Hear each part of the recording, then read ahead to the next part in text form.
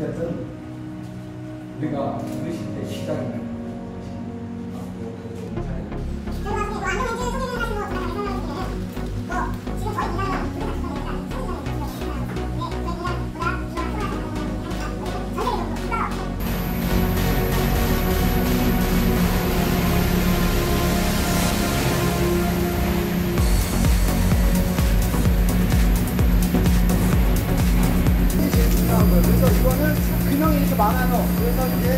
사람들은 다 제각각 보수가 다르잖아요.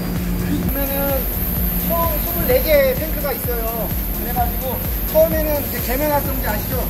기둥물 같은 거 그걸로 이제 세척을 하는 거예요. 몰드를. 왜냐면 몰드가 깨끗해가지고 렌즈가 깨끗하게 나오니까 몰드를 세척을 하는 거고 이제 뒤로 가면 다 그냥 순수 물이에요. 나중에 헹궈가지고 이제 좀 안쪽으로 들어가서 조립을 하거든요. 여러분들 카메라 같이 다니면 좋을 것 같아요.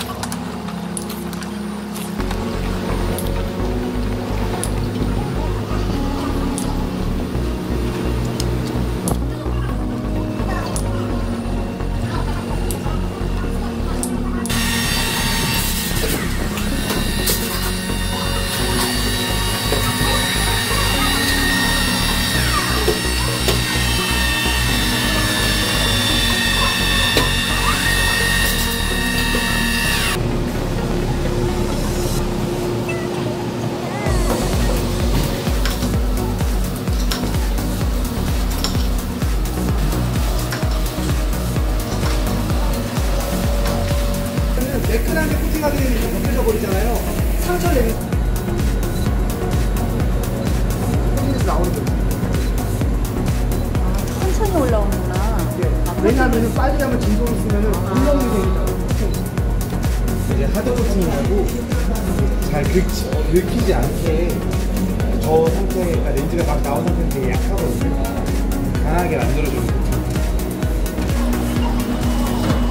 아까 봤던 스크래치 코팅 다 하드 코팅만 한 거고 왼쪽 제가 들고 있는 네. 이쪽 그러니까 오른쪽이죠. 그러니까 지금 이 들고 있는 이 렌즈는 멀티 코팅까지 한 거예요. 멀티 코팅은 스크래치가 아니라 유리처럼 투과율이 좋으라고 하는 거예요. 이거는 보시면 반사가 좀 있죠. 하얗게 걔가 얼굴이 비치잖아요. 네. 이걸 고스트 현상이라고 해요. 고스트. 귀신처럼 나오는 게 고스트 현상인데 이거를 줄여주는 거예요. 그래서 이거는 한 90% 정도 투과율이 나오는데 멀티 코팅을 하게 되면 99% 투과율이 나와요. 그러니까 최대한 유리랑 가까워지는 거예요. 원래 안경 렌즈는 유리로 만들었잖아요. 플라스틱 렌즈가 마- 이 코팅 기술이 개발되면서 플라스틱 렌즈가 제조가 된 거예요. 그래서 지금 하는 과정이 이제 안경 렌즈의 가장 마지막 과정이자 꽃이에요. 멀티 코팅.